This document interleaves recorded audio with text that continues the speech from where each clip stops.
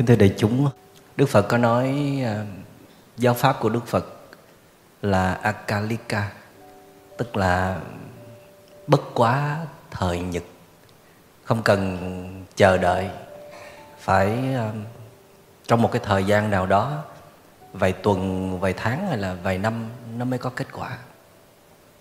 Nó có thể xảy ra tức thì, ngay lập tức nếu chúng ta thực tập đúng cách trước hết là chúng ta đã sẵn sàng cho nó chưa? Tức là bạn có muốn thiền tập? Bạn muốn phát triển những giá trị bên trong? Bạn muốn học cách làm chủ cảm xúc, những suy nghĩ, làm chủ chính bản thân mình? Thì bạn muốn bao nhiêu phần trăm? Nhiều khi bạn chỉ muốn chỉ có vài ba chục phần trăm thôi, thì không thể thành công được cho dù chúng ta luyện tập bất cứ một cái gì, dù là chúng ta luyện võ hay là chúng ta chơi thể thao hay là chúng ta học một môn ngoại ngữ nào đó, thì không thể chỉ với cái muốn vài ba chục phần trăm mà thành công được. Cái muốn càng lớn, nó càng đi về phía một trăm phần trăm, thậm chí là có khi mình muốn trên một trăm phần trăm nữa, thì mới có kết quả được. Mà muốn có cái muốn đó đó thì mình phải có niềm tin chứ, mình phải có niềm tin về cái môn cái phương pháp mà mình đang luyện tập. Mà muốn có niềm tin thì mình phải có thông tin đầy đủ. Mình phải hiểu nó mình phải biết về nó. Và muốn muốn hiểu cơ bản về nó thiền là gì mang lại những kết quả thiết thực như thế nào thì tốt nhất là chúng ta phải hiến tặng cho mình một cơ hội được uh, trải nghiệm hành thiền đặc biệt là với một cái khóa thiền chuyên sâu nào đó ba ngày bảy ngày hay là 10 ngày. Và sau khi mình thực tập mình thấy rất là thích. Cái này là mình đang rất là cần nè. Cái này nó làm cho mình cân bằng làm cho mình thư giãn làm cho mình sáng suốt ra làm cho mình tươi tỉnh ra nè. Cái này là cái cái thứ mà mình đã chờ đợi bấy lâu. Nó có thể giúp cho mình hiểu được chính mình, chấp nhận được chính mình và hiểu được những người xung quanh cuộc sống này và yêu thương nó. Phương pháp thiền tập chúng ta mặc dầu là đến từ à, đạo phật nhưng bản chất nó không mang, không có mang tính tôn giáo. Tức là không cần các bạn phải thuộc tôn giáo nào, hoặc là có đi theo tôn giáo nào hay không, thì mới có thể thực hành được. Chỉ cần bạn có nhu cầu, và bạn có niềm tin, và bạn có thông tin đầu vào một cách chính xác. Và một thứ rất là quan trọng nữa, và đó chính là đề tài chính mà chúng ta muốn nói ngày hôm nay, đó là cái thái độ hành thiện là tại vì những cái điều kiện kể trên đó rất là cần thiết. Như là đã nói là các bạn đã có niềm tin nơi thiền rồi đó. Các bạn đã có trải nghiệm thử và niềm tin đã được xác lập. Kế tiếp là các bạn đặt cái muốn mình, tức là mình có một cái muốn. Mà cái muốn này thường nó đến từ một cái động cơ. Bạn phải có một động cơ. Thí dụ như là bạn đang rất là căng thẳng, bị stress vì bạn muốn phóng thích stress, cho nên là bạn muốn đi tìm nhiều phương pháp. Trong đó bạn đã chạm được tới thiện, biết tới thiện, đó có thể là một động cơ. Hoặc là tại vì bạn ý thức được rằng là trong bạn đang có rất nhiều phiền não. Trong thời gian qua bạn làm ăn sao mà bạn cứ vung vãi không biết bao nhiêu là rác rến chất độc xung quanh người thương của mình. Bạn đã đọc rất là nhiều sách, bạn tìm đủ phương cách để mà quản chế cái cơn giận hay là phiền não của mình nhưng mà không xong. Thì khi thực tập qua thiền, bạn thấy có vẻ như là thiền phù hợp với bạn để giúp bạn làm điều đó. Cho nên bạn đã chọn. Đó là một loại động cơ. Nhưng mà có nhiều người có thể là đang trải qua một trận bão của cảm xúc, một cuộc chia lìa, một sự thất bại, một sự sụp đổ. Nói chung là một một nghịch duyên, một tai nạn rủi ro. Cho nên là họ cần được vượt qua và sống sót rồi đi tiếp. Cho nên trong cái lúc lây hoay như vậy, trong một cái duyên may nào đó, ai đã giới thiệu tới thiền, tới phương pháp quay vào bên trong. Và khi họ vớ được cái phương pháp hành thiền giống như là một người đang trôi bồng bềnh trên đại dương mà vớ được chiếc phao, thì phải nắm chặt vào chứ không có không có lơ là, không có mất tập trung để rồi cái phao nó tuột khỏi tầm tay, thì mình lại chết chìm tiếp. Thì có rất nhiều động cơ để giúp bạn quyết quyết tâm hành thiền, nhưng cũng có nhiều người hành thiền để muốn có trí tuệ. Tại vì biết rằng có trí tuệ thì sẽ có từ bi, tức là phá vỡ những cái nhận thức giới hạn của con người để đạt tới những tầng nhận thức lớn hơn điệu hòa với đất trời với vũ trụ để mở được tâm tự ra. Đó cũng là một dạng động cơ. Hoặc là bạn muốn hành thiện để trở thành một người giỏi về thiện, làm master của chính mình trở thành một người thầy của chính mình về đời sống tâm hồn tức là tự mình dạy cho mình những cái gì nên làm và không nên làm. Và rồi mình truyền cái cảm hứng đó đến những người xung quanh.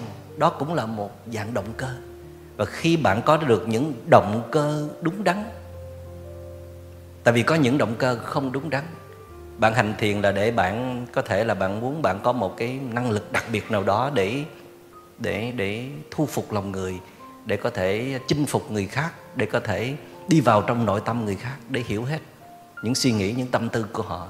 Cái đó có thể không phải là một động cơ đúng đắn, hoặc là bạn hành thiền để bạn trở thành một nhân vật đặc biệt có thể là à, bạn sẽ biết được tiên kiếp. Bạn có thể à, xuất hồn để bạn có được một cái sự ưu ái sự kính trọng hay là à, bạn có thể đạt một cái quyền lợi nào đó. Tất cả những cái đó đều gọi là động cơ không đúng đắn. Mà khi bạn đã xuất phát điểm từ một cái động cơ không đúng đắn thì không thể nào có được kết quả đúng đắn được.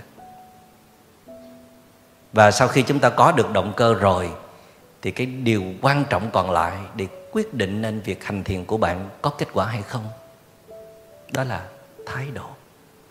Cũng giống như khi mà mình chọn được right person, người mình thương, người trong mộng, người ấy đã sẵn sàng cho ta rồi, ta thì sẵn sàng chưa nhiều khi chúng ta cứ lo cứ lo tìm người thật là tuyệt vời, tìm phương pháp thật là hay nhưng mà chúng ta thì có quá nhiều vấn đề. Một người mà có quá nhiều vấn đề mà đụng vào một người hay đó, thì người hay cũng có thể biến thành người dở. Trước kia, trước khi họ về ở với mình thì họ là một người rất là dễ thương, rất là ngọt ngào, rất là dễ chịu. Rồi về tới tay mình, không biết mình làm ăn sao. Giờ này thì họ rất là nhạy cảm, rất là dễ phản ứng, lúc nào cũng gai tua tủa, lúc nào cũng hằng học khó chịu, là tại ai? Dĩ nhiên là người đó cũng có một phần trách nhiệm, nhưng mà cái cách chúng ta tiếp cận một đối tượng cũng có thể mời lên bất cứ một cái năng lượng nào đó ở trong đối tượng đó. Chúng ta có thể mời lên cái năng lượng bình an, ngọt ngào ở trong người đó và đồng thời chúng ta cũng có thể mời lên được năng lượng sân si, năng lượng tiêu cực ở trong người đó.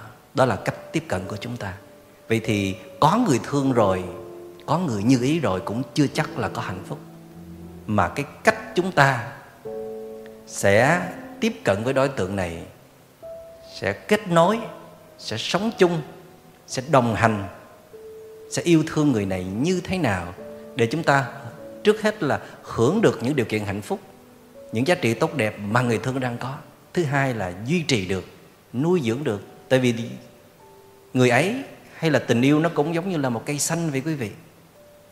Nếu chúng ta lơ là, chúng ta bỏ quên, không chăm sóc thì nó sẽ héo và nó sẽ chết. Mà nếu chúng ta bón quá mức, tưới quá mức thì nó cũng ngập úng và nó cũng chết. Cho nên phải hiểu cái cây thì mới nuôi cây được lan là một trong những thứ khó nuôi, nhưng mà có nhiều người nuôi được. Và bạn đã có một cái người cũng khó nuôi, và bạn đã can đảm đem về nuôi, nhưng mà bạn nuôi không thành. Bạn nuôi mà nó cứ eo ụt nó không có ra hoa, ra trái gì hết.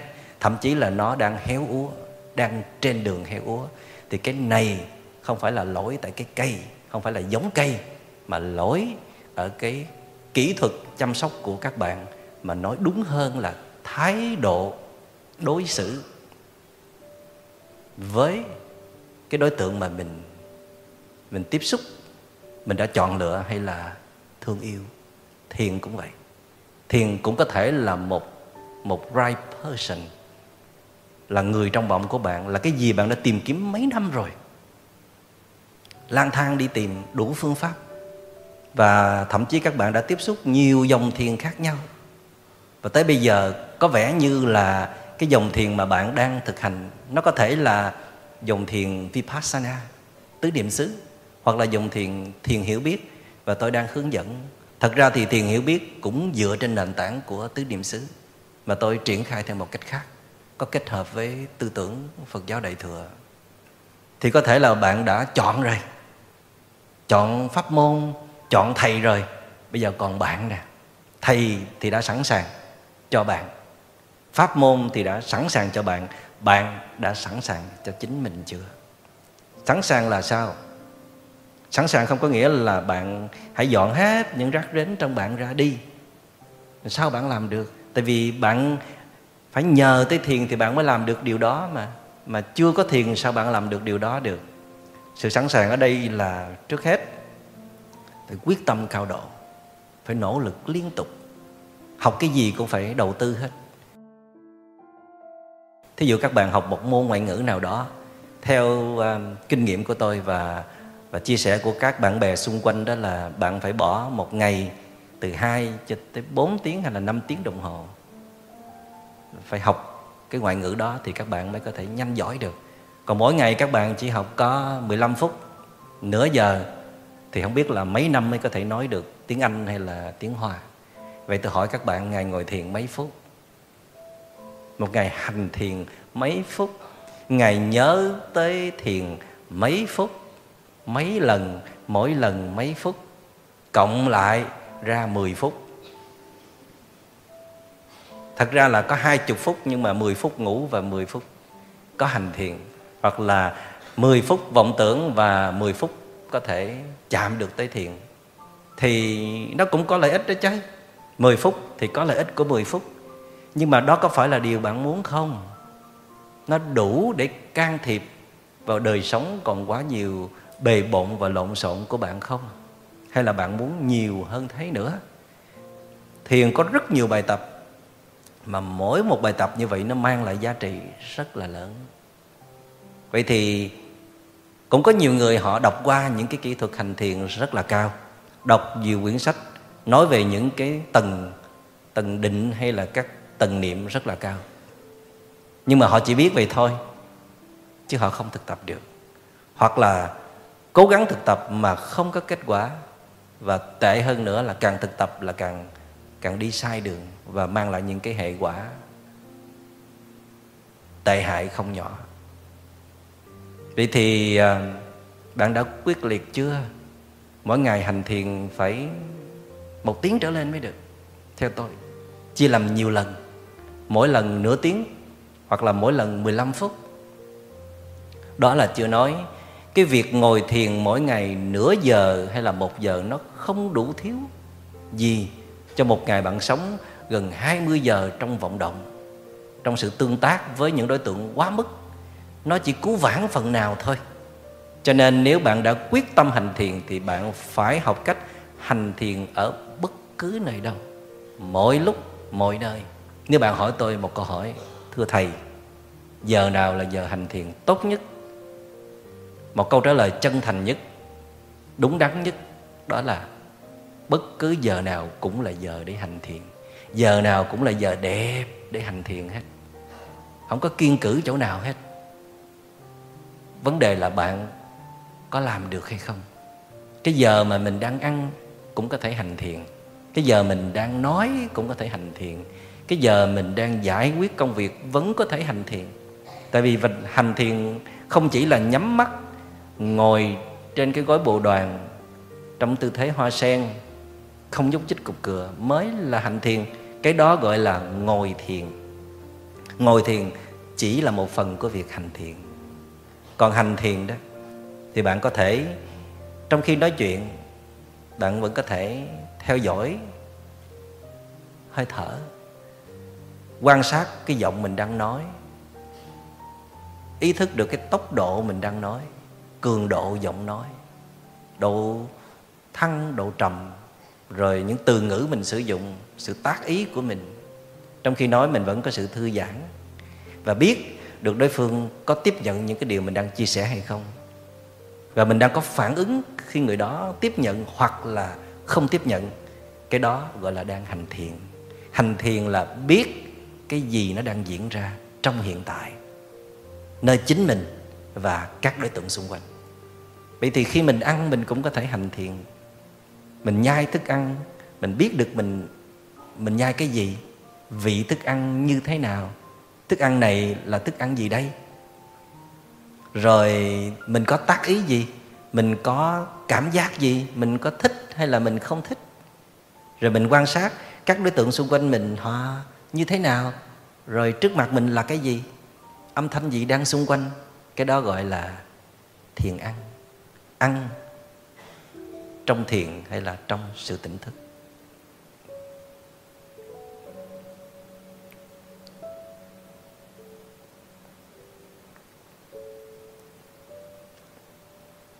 Ngay cả khi mình đang làm việc, mình vẫn cứ thiền mình vừa chú ý vào công việc, không chú ý vào những đối tượng khác. Mình đã có sự tập trung rồi mà mình có sự thư giãn nữa. Mình cảm nhận khi tay mình nó di chuyển, hay là thân thể mình nó di chuyển, hoặc là đôi chân mình di chuyển. Mình có thể kết hợp, theo dõi hơi thở, để tâm mình đừng có phóng đi. Mình có khi quan sát đường nét, chi tiết của công việc mình đang tiếp xúc. Cũng có khi mình quan sát một cách tổng quát thôi. Tại vì có lúc đó cho phép mình quan sát đường nét chi tiết, nhưng mà cũng có lúc mình quan sát đường nét chi tiết nó hơi khó hoặc là hơi nguy hiểm. Cho nên mình chỉ quan sát một cách tổng quát. Thí dụ như khi bạn đang lái xe, thì bạn thiền như thế nào? Khi lái xe thì cái việc chính đó là phải biết mình đang lái xe, chứ không phải là mình đang nghe nhạc ha. Không phải là mình đang nói chuyện, cũng không phải là mình đang bàn công việc, và càng không phải là đang cãi lộn cho nên lái xe là chỉ lái xe thôi. Vì thì tốt nhất là khi lái xe không nên mở nhạc, kể cả không nên nghe pháp thoại trong khi lái xe. Pháp thoại chỉ nên mở lên khi mà kẹt xe. Không biết làm gì cả. Căng thẳng, không trở về với đề mục được. Nhưng mà trước khi nghe pháp thoại đó, cũng nên là nghe chính mình trước nghe tiếng thở dài, nghe tiếng than phiền, nghe sân si nó trỗi dậy. Hoặc là nghe hơi thở đi vào, đi ra. Phải ưu tiên cho chính mình trước. Tận dụng cơ hội kẹt xe hay là có đèn đỏ để mình hành thiền và khi mình lái xe thì mình à, ý thức là mình đang lái xe cho nên chú ý vào cái tuyến đường phía trước là quan trọng nhất. Và thứ hai là quan sát các đối tượng đang dịch chuyển xung quanh cái tuyến đường của mình nhưng mà quan sát trong sự tập trung như vậy, vẫn phải có sự thư giãn, thả lỏng. Và mình biết mình đang làm như vậy. Tôi đang có mặt trong hiện tại. Tôi quan sát, các đối tượng đang có mặt trước tôi, đó là cái gì? Chưa hết. Trong khi ngồi lái xe, mình ý thức cái tay mình đang nắm cái cần lái xe, hoặc là nắm tay lái xe. Cái chân mình đặt ở chỗ nào và nó có thư giãn hay không? Dĩ nhiên là những đoạn đường vắng, ít nguy hiểm mình mới kiểm tra kỹ như vậy còn những đoạn đường nguy hiểm thì chỉ tập trung vào tuyến đường lái xe thôi. Còn nếu đoạn đường vắng, chạy chậm, không nguy hiểm, mình vẫn có thể thả lỏng đôi bờ vai. Nhưng mà đừng có ngã người ra ghế nha, là nó đi luôn á. Và vẫn có thể kết hợp với hơi thở đi vào, đi ra. Thậm chí là nhớ thả lỏng các cơ bắp trên gương mặt. Đó, đều là những cơ hội để hành thiện hết. Mình đi từ bãi đậu xe đi vào tới văn phòng 10 phút để làm gì? Sao không hành thiện đi? Đi thiền hành. Đi những bước chân không cần quá chậm, cứ đều đặn, nhẹ nhàng, tự nhiên thôi. Nhưng mà mình cảm nhận cái bước chân của mình. Mình đặt cái tâm mình vào cái bước chân của mình. Mình biết được bắp chân, cẳng chân, bàn chân, bước lên đất thang thứ nhất, tôi biết. Bước lên nấc thang thứ hai cũng biết luôn. Tôi biết ngày xưa là tôi bắt đầu hành thiền cái việc mà tôi chăm chỉ thực hành không phải là ngồi thiền đâu, mà là đi thiền, gọi là thiền hành. Và tôi tập rất là kỹ. Khi tôi bước lên cầu thang 12 đất, và tôi phải đi hết 12 đất đó trong chánh niệm. Tức là đây là bước thang thứ nhất, đây là bước thang thứ hai, đây là bước thang thứ ba. Rảnh quá mà. Cho nên là cứ tha hồ đi chậm, tha hồ cảm nhận. Thì lâu lâu quý vị cũng tặng cho mình một cơ hội rảnh như vậy chứ. Chứ ai bắt mình bận làm gì? Phải không? Mình bắt mình bận chứ ai bắt đâu. Có thể bỏ ra nửa ngày không đi shopping, không chít chát nhăn cuội trên facebook, không có đi nhậu nhẹt. Để làm gì? Để đi lên đi xuống cầu thang. Đi lên đi xuống cầu thang để cho nó thư giãn ra, để cho nó tỉnh ra. Để con người mình nó mạnh mẽ lên. Nó ngộ lắm, hãy tỉnh là mạnh à. Mà u mê chìm vào cơn cảm xúc là nó yếu xìu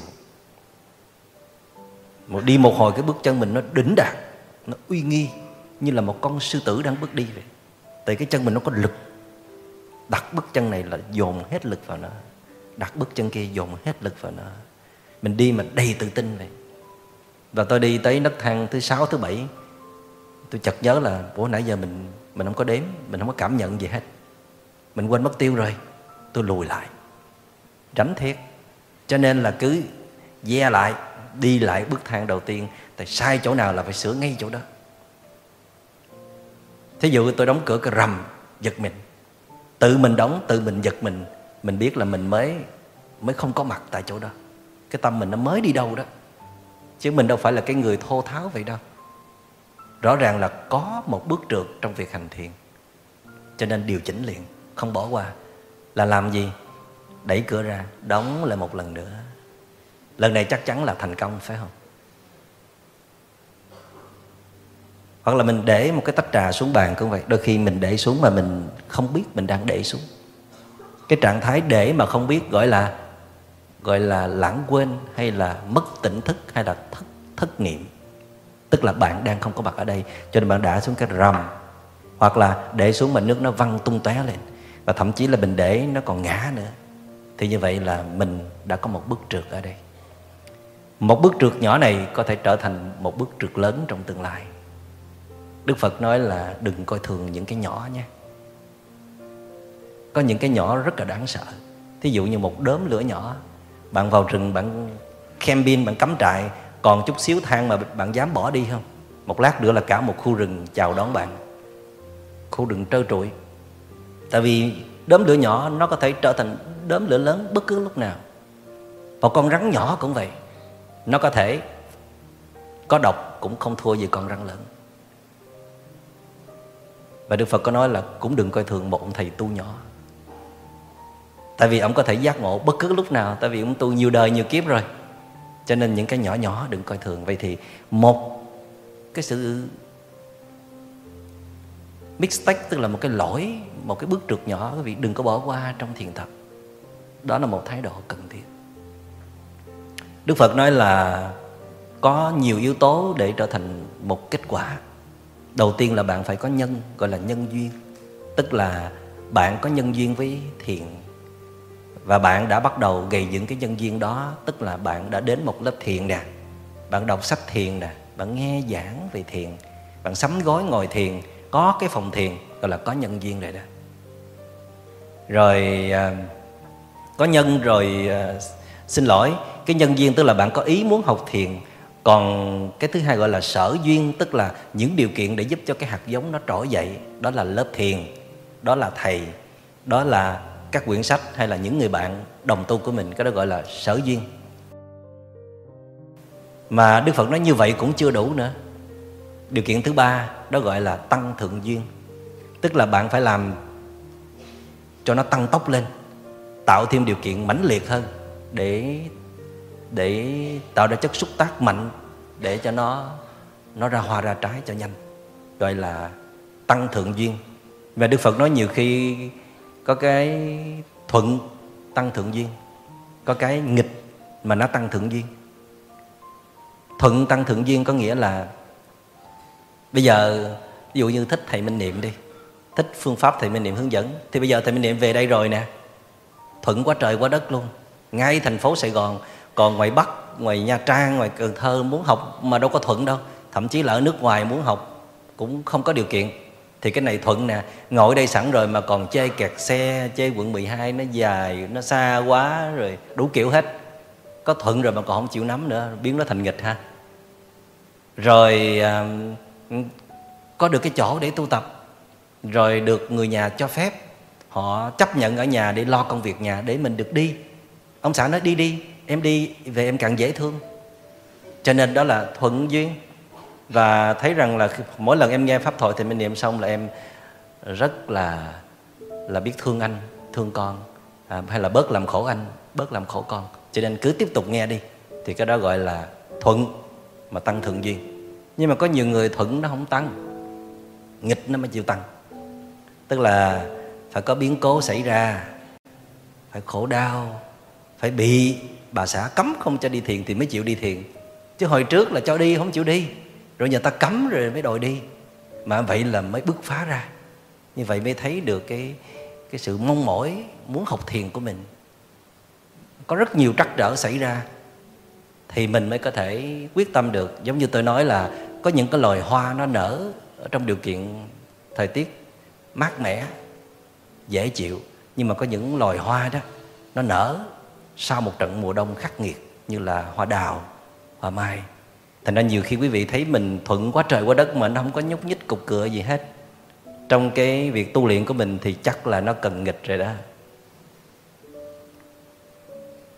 Cầu trời khẩn phật sao cho con một nghịch duyên để con tu được chứ không rồi thuận quá trời quá đất, con lười tu quá. Cái đức phật nói có những người như vậy, hoặc chính chúng ta cũng có những lúc như vậy. Có những lúc nắm được cái, cái điều kiện thuận lợi phát triển luôn đi tới đích luôn. Nhưng mà có những lúc phải chờ nghịch duyên gõ cửa. Cho nên khi mà nghịch duyên tới mình đừng có nhảy dựng ha. Khoan bình tĩnh nó có một cái thông điệp gì đó. Chờ đợi. Có thể là nó đến để nó rủ mình đi tu thiền. Tại vì khổ quá rồi hết đường thoát rồi. Phải lục lục lên mạng coi pháp thoại của thầy minh niệm đâu. Rồi hỏi coi, coi có cái khóa nào đang diễn ra không? Nghịch mà tăng thượng duyên. Nhưng mà đức phật à, nói là còn một cái yếu tố nữa. Có thể làm cho hạt giống nó nó trở thành hoa trái được gọi là đẳng vô gián duyên. Tức là cái tính liên tục không được dừng lại. Thì mới có kết quả được. Cũng giống như là chúng ta nói từ đầu cái việc học ngoại ngữ đó quý vị. Quý vị học ba bốn tháng rồi ngưng. Ngưng để yêu đương hay là ngưng để làm việc, rồi ngưng để giải quyết vấn đề gì đó. Rồi mấy tháng sau quay lại học trở lại phải văn ôn võ luyện chớ phải không? Quay trở lại là coi như gần như là phải học lại từ đầu hoặc là à, học phải là học lại nửa đường. Phải mất mấy tuần lễ mới có thể làm nóng lại cái việc ham thích học ngoại ngữ hoặc là nhớ lại những cái gì mình đau việc hành thiền cũng vậy. Nếu quý vị ngồi thiền tuần con lần bỏ hết. Mình định là mỗi ngày mỗi ngồi thiền tức là 7 ngày trong tuần là ngồi 7 lần. Nhưng mà cuối cùng sự sắp xếp khéo léo làm sao đó mà cuối cùng cùng tuần ngồi được có một, hai lần thôi. Cứ hai, cứ ngồi một lần, cái ngưng năm, bảy ngày rồi mới ngồi một lần. Thậm chí là cả tuần cũng không có ngồi được buổi nào. Thậm chí là hai, ba tuần đi qua đi lại nhìn thấy cái gói cũng mắc cỡ ghê. Thôi dẹp quách vô tủ luôn cho rồi. Để khỏi để khỏi gây đau lòng nhau vậy sao mà có kết quả được, phải không quý vị? Đức phật nó cũng giống như mình lấy cái hạt bắp. Mình bỏ xuống đất. Bỏ mới có ba bốn ngày, nó chưa kịp ra mầm, ra chồi, cắm rễ gì hết đó mình đem cái hạt bắp mình đem bỏ vào cái keo, bỏ vào tủ, cất. Rồi hứng hứng bảy ngày sau đem rải xuống đất nữa. Rồi hứng hứng sao nữa mấy ngày cái bốc hạt bắp đem lên. Lần này chắc bỏ rang luôn. Cho nên sao hạt bắp trở thành cây bắp được phải để cho nằm ở dưới luôn. Đừng có lấy lên. Đức phật nói cái tính liên tục á, liên tục liên tục. Từ ngày này qua ngày khác, từ phút này qua phút khác, giờ này qua giờ khác, thì nó mới có kết quả được. Dĩ nhiên là cũng có những lúc chúng ta tinh tấn, nhưng mà nó thông thả thôi. Không có quá gấp rút, không có quá tăng tốc, nhưng mà có những lúc cần phải tăng tốc thì mới có kết quả được cái điều này thì mình phải cần hỏi các vị hành thiền lâu năm, có nhiều trải nghiệm thành công để họ cho chúng ta lời khuyên là bạn, bây giờ là bạn nên thông thả hay là bạn nên tăng tốc? Bạn nên tập kỹ lại những bài tập cơ bản hay là bạn nên bước lên những cái bài tập mới? Tại vì nhiều khi có những bài thực tập rất là cơ bản quý vị, nhưng mà hiệu quả vô song như là thở bụng. Tiếp xúc với hơi thở liên tục liên tục. Bất cứ lúc nào cũng nhớ quay về với hơi thở. Dĩ nhiên là mình phải làm việc, mình phải tiếp xúc, mình phải giải quyết nhiều vấn đề. Nhưng mà bất cứ lúc nào nhớ ra là cũng không để tâm nó lạc độc lỏng bay nhảy một cách vô tổ chức được, đưa nó trở về với với nhịp của bụng. Thở vào, bụng phình lên, thở ra, bụng xẹp xuống. Hoặc là hơi thở mũi cũng được. Và thậm chí là như tôi nói là bất cứ lúc nào dù là đang giải quyết công việc, dù là đang đang làm những cái việc rất là quan trọng, chúng ta vẫn không quên hơi thở. Cho nên tới khi mà mình nổi cơn giận lên, khi một cái nỗi cô đơn nó tràn tới như là một trận bão, thì mình có chỗ để nương tựa, quay về nương tựa với với hơi thở. Lúc đó hơi thở nó cho vào. À mình quen với nhau mà, vô đi, vào đây để mà nương tựa. Chứ còn bình thường không có luyện tập với nó nó không có nhớ mình nữa tới giờ mà giận lên rồi, thở vào, thở ra, rột rột rột rột vậy. Ngồi trân mình vậy chứ đâu có đâu có vô được đâu. Coi vậy chứ không phải dễ nha quý vị. Đừng có tưởng chỉ cần nhắm mắt lại là là có thể kết nối được với hơi thở. Nhiều khi kết nối được chừng năm mươi phần trăm thôi, nó không có ăn khớp được với nhau, nó không có thắt chặt vào nhau. Mà khi sự kết nối đó không thắt chặt vào nhau được thì nó tuột ra, là tâm mình nó lại trôi về, trôi theo phiền não và bị phiền não nhấn chìm. Cho nên là phải liên tục. Liên tục có khi là xảy ra trong một giờ đồng hồ. Đừng có đứng lên. Các vị muốn xây dựng định lực á, là không được nhúc nhích nha.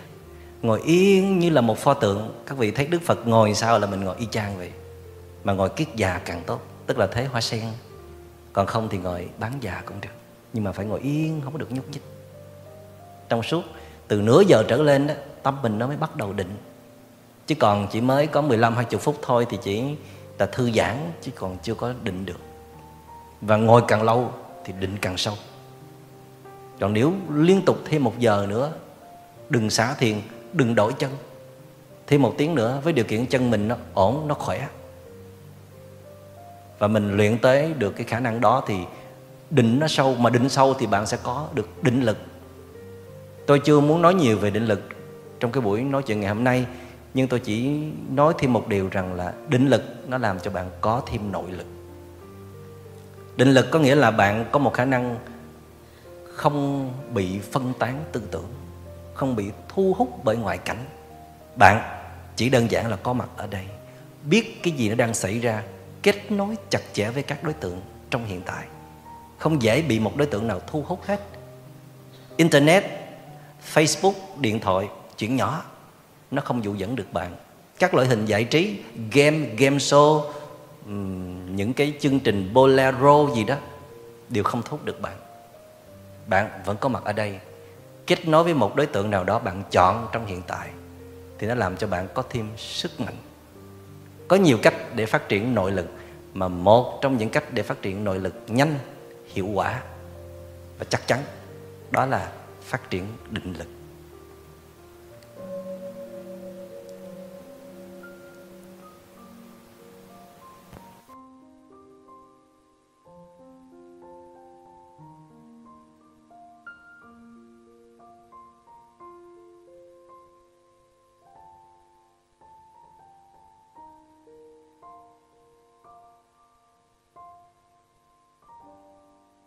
Nay vừa nói pháp thoại mà vừa uống linh đan. Ho. Ai ho không cho thêm viên? Một trong uh, những thái độ quan trọng trong việc hành thiền để có kết quả đó quý vị đó là tu như chơi. Chắc là phải viết cuốn sách tu như chơi tại vì đã có cuốn sách làm như chơi rồi. Làm quá trời quá đất mà không có kết quả, nhưng mà biết cách làm. Có rất nhiều kết quả mà tiết kiệm được năng lượng. Trong khi làm mà có thể thưởng thức được cuộc sống. Trong khi làm mà còn thể giữ được mình. Không có để cho tham sân si nó trỗi dậy. Cái đó gọi là làm như chơi. Tức là làm business hả? Làm kinh tế hả? Chuyện nhỏ. Tới khi nào bạn đạt trình độ đó, thì bạn làm trong một thái độ khác còn mà nói, trời ơi, làm kiếm tiền cực khổ quá. Bây giờ tôi phải đem hết cân não ra để giải quyết vấn đề này. Mất ăn, mất ngủ. Là biết là làm là làm như điên rồi đó. Ở dưới quê tôi gọi là làm như trâu. Tức là hì hục làm mà không có phương pháp, không có nghệ thuật, không có sách lược, chiến lược gì hết. Làm quần quật mà không có đủ ăn, đủ sống thì gọi là làm như trâu. Thì tu cũng vậy tu mà không có biết cách rồi thì tu hoài không có tới. Mất rất nhiều thời gian. Cũng mang tiếng là biết tới thiền, hành thiền và thậm chí là có những khóa chuyên sâu rồi tăng tốc vân vân các kiểu mà nó cũng vậy à. Và thậm chí là nó tệ hơn nữa. Là tại vì như đã nói rằng là hành thiền mà chỉ có thông tin đầu vào thôi, chỉ có sự quyết liệt thôi là chưa đủ thái độ rất là quan trọng. Mà một trong những thái độ ở đây, đó là hãy hành thiền một cách rất là thông thả, thoải mái. Đừng gấp gáp, đừng nôn nóng, đừng hy vọng, đừng chờ đợi. Ô hay, hành thiền mình có mục tiêu rõ rệt là để hết stress hay là ít nhất là đạt tới một bất định tâm nào đó, hay là làm chủ cảm xúc hay là có chút trí tuệ, ít nhất. Sao mà không có mục tiêu mà mình có thể hành thiền được, thì thì được. Mình nên có mục tiêu trong khi mình hành thiền, nhưng không nên lúc nào cũng nhớ về cái đích mà mình sắp đi tới. Đừng để cái chuyện đó nó trở thành một cái áp lực. Bạn đơn giản chỉ biết rằng bạn đi đúng đường và đi một cách rất là đều đặn, nhưng mà thông thả là bạn sẽ thành công. Tại vì tôi biết có những người đi rất là nhanh, rất là gấp rất là hấp tấp, giống như là hết còn thời gian để hành thiền rồi. Tôi nay bốn mấy rồi, cho nên cả 50 trở thành master của của meditation, trở thành bậc thầy dạy thiền sao được? Sao mình biết là vài năm nữa thì mình sẽ đi tới chỗ đó? Cho dù bạn có hỏi thiền sư rằng là, thiền sư, bây giờ mấy năm nữa con có thể đắc đạo được?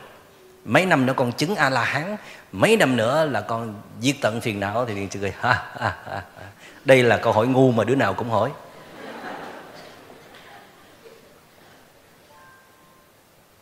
Tôi có nhớ là thầy một trong những vị thầy tôi rất là kính trọng ở um, West Virginia là từ Sri Lanka đi qua và đó là trung tâm Bhavana Society. À, tôi đã ở đó khá nhiều năm. Tôi cũng là một trong những cái giáo thọ đó nhưng mà thỉnh thoảng các vị thầy lớn hay về để kiểm chứng cái trình độ tu tập của mình thì tôi nhớ cái khóa tu đó có khoảng cho 100 thiền sinh người à, người ngoại quốc người nhiều quốc gia lắm mà đa phần là người Mỹ trắng. Vì viết là một khóa thiền diễn ra nghiêm ngặt như vậy là ừ, một, một ngày hành thiền từ 7 cho tới 8 tiếng. Và ngồi thiền thôi là 4 tới 5 lần mỗi lần là một tiếng đồng hồ. Thì các vị thiền sinh Tây phương họ rất là sợ tại vì không biết sao cái chân của người Tây phương nó cứng lắm không được mềm dẻo như là người Đông phương mình. Cho nên họ rất là sợ cái việc ngồi thiền. Mà ngồi yên như vậy, đối với những vị mới bắt đầu mà một tiếng thôi là đủ chết rồi. Mà đằng này là mỗi ngày là 5 tiếng ngồi thiền 4 tiếng đi thiền hành là 9 tiếng. Hoặc là 3 tiếng đi thiền hành là 8 tiếng. Thì có một anh thiền sinh đó, anh để ý thấy à, cái vị thầy của chúng tôi rất ít khi ngồi thiền mỗi khi ra ngồi thiền thì anh quan sát, anh thấy sao có mấy thầy trẻ trẻ như chúng tôi ngồi mà không thấy vị thiền sư già kia ngồi. Thì có một hôm trong giờ vấn đáp, anh mới hỏi đại luôn, người tây phương mà đâu có ngán ai đâu. Nói, thưa thầy, sao mà thầy bày ra cái khóa tu làm chi mà tám chín tiếng thầy ngồi có hai ba tiếng vậy? Thiền sư nói, tao đâu có khùng như tôi bay đâu ngồi chi nhiều. Nghe sốc ghê không? Đó tôi dịch sang tiếng việt á. Chứ còn thiền sư nói thì cũng cái nghĩa như vậy. Nên chúng ta ngồi nhiều là tại vì chúng ta có vấn đề. Chúng ta cần phải ngồi nhiều. Và tới một lúc nào đó chúng ta sẽ ngồi ít lại. Và chúng ta không cần ngồi nữa. Tới một lúc nào đó chúng ta sẽ hành thiền ở mọi lúc mọi nơi. Còn mới bắt đầu, mình có vấn đề là tại vì tâm mình nó có nhiều vọng động. Tâm mình nó như con khỉ chụp hết cành này, truyền qua cành khác. Thì cần phải ngồi nhiều để nó xây xây dựng cái định nhưng điều đó không có nghĩa rằng ai hành thiền bao nhiêu năm thì cũng phải thực tập y như vậy. Có nhiều trình độ khác nhau. Thiền sư nói câu đó để thức tỉnh anh rằng là trong khi hành thiền mình không có nên so sánh mình với ai hết. Không cần phải về đích, ai về đích trước. Không ai chấm điểm chúng ta cả. Mà một trong những cái nguyên tắc quan trọng đó là bạn phải biết sức mình như thế nào. Để mình có một bài thực tập vừa vặn thì nó mới có kết quả còn nếu mình thực tập thiền mà cũng giống như là mình làm những cái thứ khác bên ngoài, theo cái tinh thần lực, bất tòng tâm tức là muốn thì rất nhiều mà làm khả năng thì chẳng có bao nhiêu. Giống như là mình mặc một cái chiếu, chiếc áo quá rộng thì coi không được. Thì việc hành thiền không mang lại kết quả. Có thể là mình chọn một bài thực tập nó quá khó, nó không phù hợp. Cho nên học thiền là phải hỏi thiền sư là như vậy. Bạn không thể chỉ nghiên cứu ở trên mạng đọc vài ba cuốn sách mà có thể hành thiền được. Dĩ nhiên là cũng được, nhưng mà những bài tập cơ bản như là thư giãn, như là an trú trong hiện tại, định tâm sơ sơ thì được. Còn muốn đi sâu á, nó chạm vào những cái cái cung bậc nhạy cảm của tâm lý thì phải rất cẩn cẩn thận. Nếu không có thể xa hầm sập hố và có rất rất nhiều người đã từng xa hầm sập hố trong khi hành thiền. Hành thiền rồi không còn bình thường nữa hành thiền rồi, chỉ ngước nhìn lên trời thôi. Nói chuyện với một khúc cây. Mắt liêm diêm liêm diêm. Thiền rồi, nó toàn là những giáo lý cao siêu thôi. Còn những chuyện đời sống bình thường không biết gì hết. Ghê hồn chưa?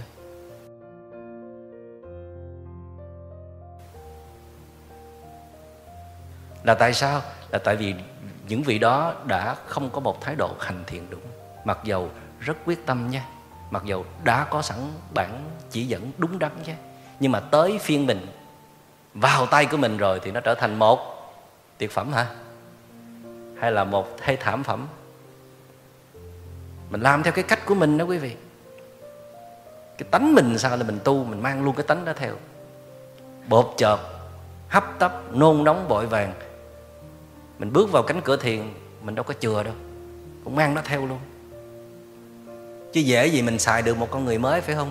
Phải mất thời gian khá lâu rồi đó.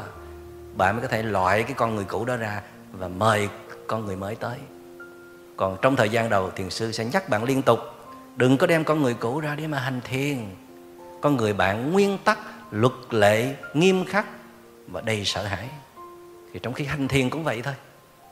Bạn cũng mang cái thứ đó đi theo lúc nào bạn cũng phân vân, do dự, không biết cái này đúng, cái kia sai nên làm sao, không biết làm sao. Thì khi hành thiền bạn cũng mang thói quen đó theo. Cho nên bạn cần một thời gian, theo tôi ít nhất từ 1 tới 3 năm để gạn lọc những cái thói quen đó ra. Thì bạn mới xài được cái con người trong trẻo của mình. Lúc đó, hành thiền với một cái tâm trong trẻo thì mới đạt kết quả cao và nhanh được. Còn hành thiền mà với cái tập khí cũ, cái nết cũ cái nếp sống cũ thì không mang lại kết quả nào, hoặc là có nhưng mà rất là ít. Vì thì một trong những thái độ quan trọng của việc hành thiền đó là, hãy quên việc bạn đang làm cái chuyện đặc biệt phi thường đi. Chả có gì đặc biệt ở đây hết. Đơn giản là bạn đang khùng và bạn muốn làm bạn bớt khùng. Đơn giản là bạn đang có phiền não, bạn muốn bớt phiền não. Đơn giản bạn là một người không dễ thương, bạn muốn trở thành con người dễ thương. Đơn giản là bạn đang có vấn đề không kiểm soát được tâm ý. Cho nên bạn đang học cách để mà thay đổi bản thân thì có cái gì mà tự hào chứ? Có cái gì phải khoe mẽ? Có cái gì mà phải hơn người hay là coi thường người khác, phải không? Và bạn đang cố gắng hành thiền để nó trở thành một thứ trang sức cho bạn. Để bạn nói mọi người rằng là bạn đang tu thiền, bạn đang luyện thiền, bạn đang hướng vào nội tâm. Mà bây giờ thiền nó trở thành một cái thứ fashion thời thượng. Nói tới thiền, wow, tri thức nha. Wow, người biết hướng vào nội tâm nha. Người này có giá trị một hệ giá trị ngang ngang cùng với chúng ta. Chưa? Mới bắt đầu thôi mà. Chưa kết quả gì hết mà. Ai làm vậy không được. Và thêm cái cái cái bản ngã lừng lẫy. Làm kinh doanh thành công rồi thì tu thiền phải thành công chứ đang là một businessman nổi tiếng đang là một người uh, tỷ phú ngoài kia kìa thì mình hành thiền thì mình cũng phải đạt liền chứ. Chứ sao phải đi từ con số không giống như nhiều người khác được. Mình đâu có kiên nhẫn làm chuyện đó phải không? Cho nên bước vào lãnh địa của thiền là với một cái tâm trật lất rồi. Tôi muốn tôi đạt tôi phải trở thành. Thì chỉ có trở thành cái gì đó bất thường thì thôi. Cho nên thiền sư rất là hay cố gắng khai thị một cách mạnh mẽ cho chúng ta là bỏ cái tâm mong cầu đó đi. Nó ngộ vậy đó, bạn có mục tiêu, bạn có đích tới, nhưng mà bạn không được đem cái tâm mong cầu theo suốt cuộc hành trình hành thiền trong cái hành thiền là thả ra, buông nó xuống, thư giãn. Hành thiền mà như không hành thiền nói như cậu nguyễn du là không tu, thì cũng như tu mới là, hay không? Không tu. Tức là nhìn không có ra cái dáng tu, không có ngồi liêm diêm, không có lần chuỗi, không có niệm kinh, không có mặc áo tràng, không có ngồi thấy hoa sen, không có dán nhãn hiệu ta là thiền sinh. Mà sao giải quyết vấn đề nó hay quá à? nhẹ nhàng, bao dung độ lượng, phi thường. Chỉ có người phi thường mới làm được điều đó. Thì vậy là tu đó tu để cho ra cái kết quả đó. Tại vì cái thứ đó là cái thứ có thể xài được. Và ai cũng muốn xài những cái thứ đó. Chứ tu rồi hồi thành khúc củi. Các vị biết tu mà thành khúc củi không? Có đó nha tôi nói vậy chứ tôi cũng đau lòng lắm. Là tại vì tôi đã có nhiều học trò mà không nghe lời tôi đi qua rừng thiền để trở thành những cái khúc củi bên đó. Tôi nói củi trong rừng thiền thì nó nhiều quá rồi đá trong đó nó cũng nhiều quá rồi, con làm thêm cục chi nữa. Con làm thêm khúc chi nữa. Con là một thực thể sinh động. Con là một con người. Con phải làm cái gì nó hơn con người, mà hơn con người là khúc củi sao? Mình tu để mình trở nên phi thường phải không quý vị? Để mình ít nhất là mời những cái giá trị tốt đẹp nhất trong sâu thẳm tâm hồn mình ra. Mình phải ít giận hờn, ít cố chấp và là kiểm soát rất tốt cảm giác cô đơn, nghi kỵ người khác. Điềm tĩnh, nhẹ nhàng, thư thái. Có người lúc nào cũng ứa ra những năng lượng tích cực, bình an. Có nhiều nụ cười, an trú trong hiện tại. Ít mơ mộng, ít tư tưởng, ít phiền não, ít có vấn đề, ít kiếm chuyện người khác. Đó, tất cả những cái đó là hoa trái của việc hành thiền. Mình tu luyện cái gì không biết, phải đi tới cái chỗ này chứ còn chỗ này mà chưa qua, mà đòi lên trển đó sao lên được? Mà có lên rồi chắc không có xuống được. Tại đâu có biết đường lên đâu. Là do một cái gì đó bỗng dưng nó lên thôi. Thì bỗng dưng nó sẽ rớt xuống. Cho nên khi quý vị đã quyết tâm hành thiền rồi thì điều đó đáng chúc mừng vô cùng. Coi như là quý vị đã có một con đường. Hoặc là quý vị đã có được phương pháp hành thiền phù hợp với mình thì xin chúc mừng nhưng vẫn đừng có chủ quan. Đừng đánh giá thấp những thói hư tật xấu hoặc là thái độ không đúng đắn của mình. Nó có thể khiến cho mình không đạt được hoa trái gì cả, mất thời gian, mất năng lượng. Và thậm chí là nó đưa mình tới những cái hệ quả rất là tồi tệ. Có những người hành thiền rồi thì họ không còn là họ như xưa nữa tôi có một quen một cái anh à, doanh nghiệp rất là nổi tiếng. Và đã hành thiền trong khoảng 3 năm trở lại đây. Anh đưa doanh nghiệp anh vào đưa thiền vào trong doanh nghiệp của anh luôn. Anh muốn các nhân viên đều phải hành thiền. Buổi sáng ngồi thiền một tiếng buổi chiều ngồi thiền một tiếng. Oai chưa? Rồi chính anh đó là cứ mỗi khi mà có một cái ờ, dự án lớn là anh đi vào trong rừng thiền anh ở 10 ngày để định tâm. Để khi ra rồi anh có thể có những cái tác phẩm rất là tuyệt vời. Anh có những giải thưởng lớn anh rất là thành công. Và thậm chí là gần đây tôi còn nghe anh khoe là anh ở rừng thiền một tháng suốt luôn đó chứ. Trời đất ơi, một doanh nghiệp đang đang hoạt động như vậy mà anh dám bỏ đi vào trong rừng thiền ở một tháng, rồi lần sau nó anh đi hai tháng và anh báo cáo với tôi rằng là anh bây giờ đang ở trong tầng định thứ tư, không rời. Một ngày làm việc nửa tiếng tới một tiếng thôi, còn thời gian ở trong định. Thôi anh ở trong làm gì vậy anh? Sao anh không lo mừng ăn đi, ở trong làm gì trong anh nói, trời cảm giác sướng lắm thầy ơi. Tôi nói, ồ, anh đi tìm cảm giác sướng hả? Nó chích thuốc nó cũng sướng vậy. Phải không? Anh nói, không. Anh nói là là anh còn đi tiếp nữa và cái đích cuối cùng của anh là sẽ có một cái tuệ giác toàn vẹn. Tôi, ủa, anh muốn tìm tuệ giác toàn vẹn để làm gì với anh? Thì anh nói, trời ơi, thầy tu rồi mà thầy không biết. Thầy tu thầy phải biết tuệ giác là cái gì chứ. Và lúc đó tôi rất là ứa gan. Tôi tính nói một cái câu mà tôi bắt chước thiền sư của tôi ở bên Virginia hồi nãy, có nói với thiền sinh hồi nãy nhưng mà lúc đó tôi nghĩ là tôi đã hơi dở, là đã không nói. Tại vì thông thường là tôi cũng có thể nói. Nói một câu hơi mạnh, hơi nặng để người đó tỉnh ra. Và tôi bắt đầu lo sợ cho người đó. Và tôi tính là từ đây tới tết thế nào tôi phải đi gặp người đó. Không là tôi phải viết một cái lá thơ. Nên làm ơn thôi nghĩ tu dùm đi. Tu như vậy là nguy hiểm quá. Tu để rồi mỗi ngày mình rời xa thực tại chán ngán cái thế giới này, những người xung quanh. Tu để rồi mình tự trang trí cho bản ngã của mình. Một cái màu sắc mới. Thấy mình đặc biệt phi thường hơn người, thì là lạc đường lạc lối rồi.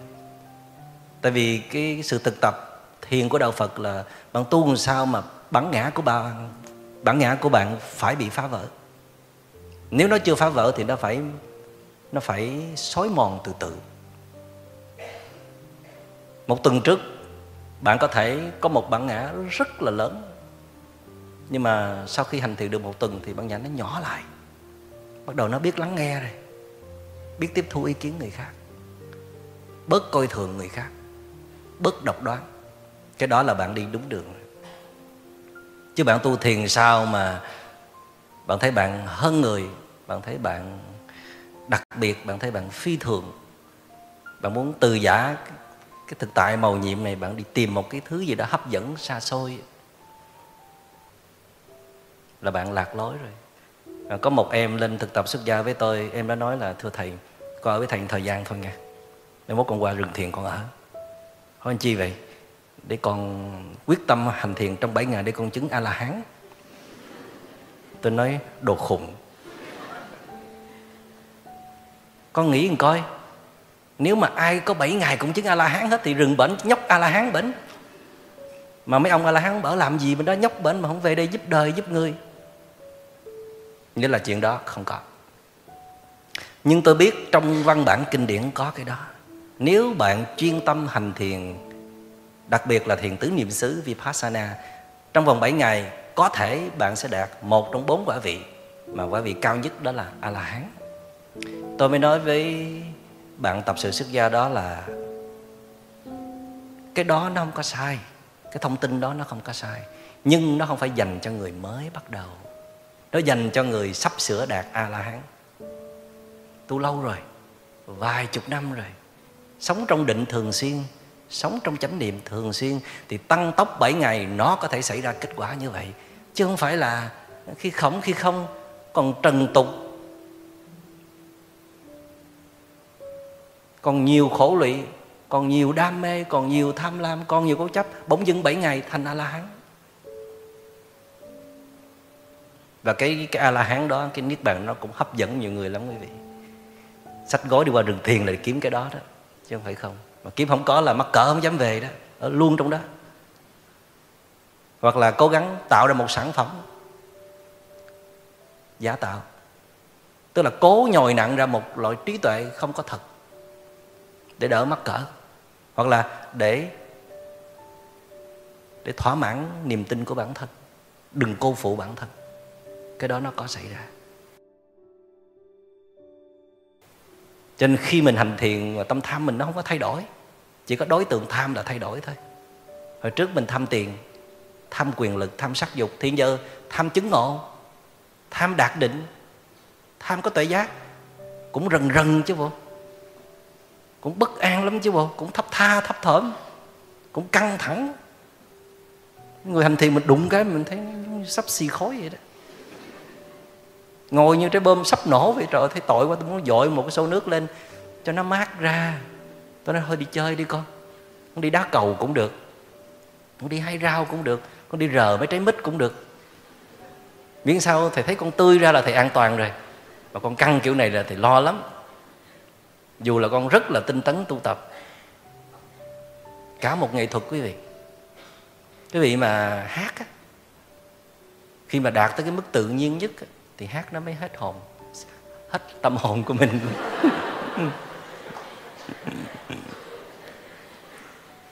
Nói cũng vậy giống như tôi đang nói thì phải tới một cái mức nào đó tôi với các bạn là những người bạn không có ai đối phó không có trình diễn nữa.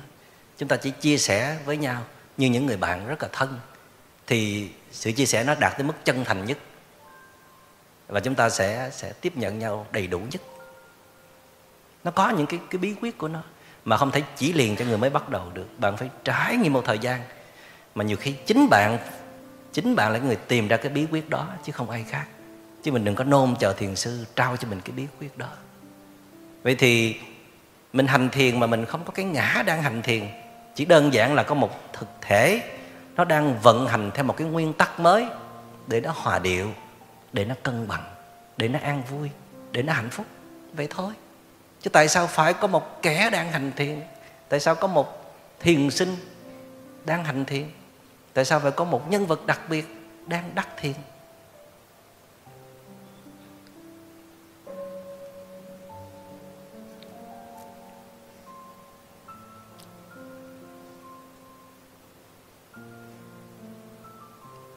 Thư giãn là nền tảng cơ bản để đạt những giá trị thuộc về tâm linh, quý vị. Bạn không thể đạt bất cứ một cái gì khi bạn đang căng thẳng. Tại vì căng thẳng là dấu hiệu của phiền não.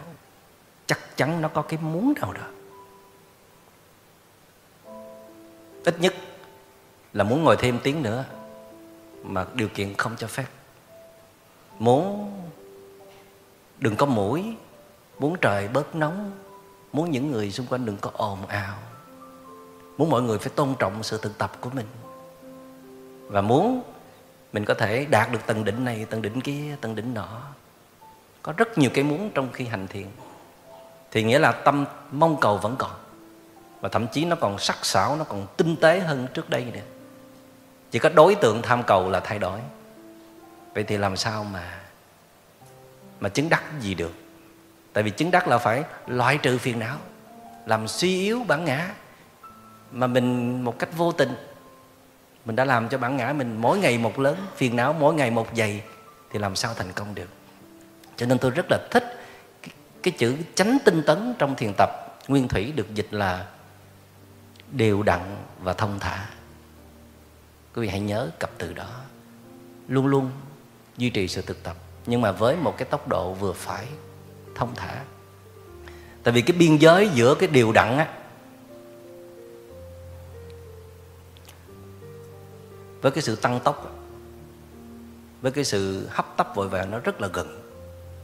Mới điều đặn nó quay qua là thấy tăng tốc mất tiêu còn cái sự thông thả nó rất gần với sự giải đãi và lười biếng, phải không?